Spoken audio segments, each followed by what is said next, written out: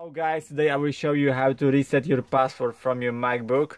Uh, this operation could be uh, be done on all of Macs uh, and I think on all of uh, operating system uh, iOS. So let's get started. Uh, first step, you need to power off your computer. my is power off permanently second step is to push and hold uh, command and R keys together uh, until you see a logo uh, Apple on screen. Then you release this uh, bot key uh, and you will see a special utility uh, screen. So let's start. Power on push two keys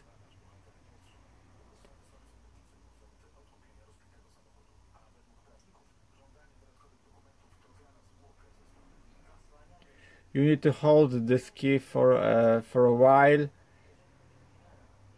Sometimes uh, it will be few seconds. Okay. You can release. Like I said when you see the uh, Apple logo and now we're gonna wait for special screen. Okay?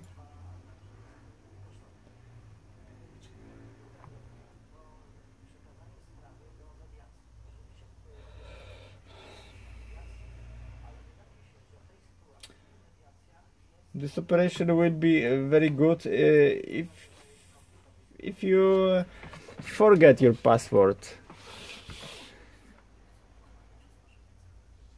my movie I think will uh, help you very much because I searched this many of hours and I saw the fuck for it.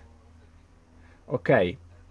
This is a Polish language but uh, you should see here uh, tools. And uh, now you're gonna hit the terminal. Yes sorry.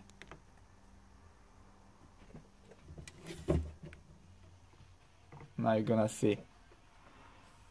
So let's again here with B tool and you put the terminal. Yes.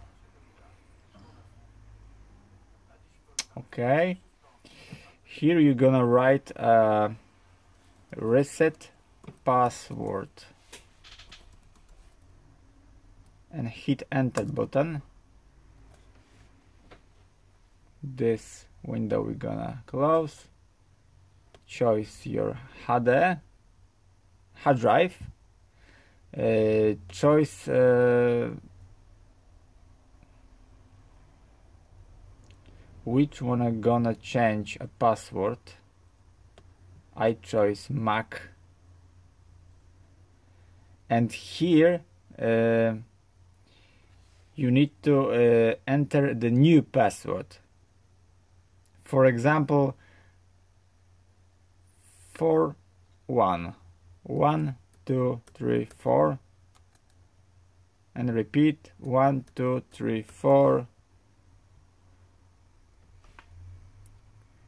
and apply. Here we will uh, apply. Okay. And this is operation done you can reset your Apple MacBook and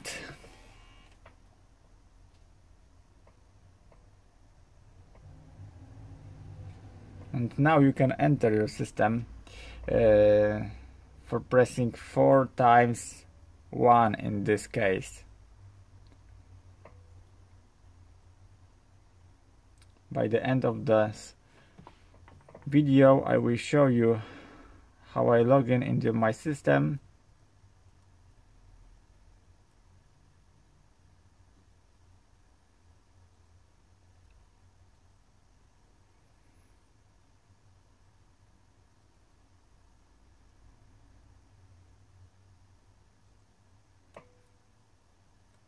And see. One two three four Pach. okay. Uh, this is for uh, other passwords uh, so never mind.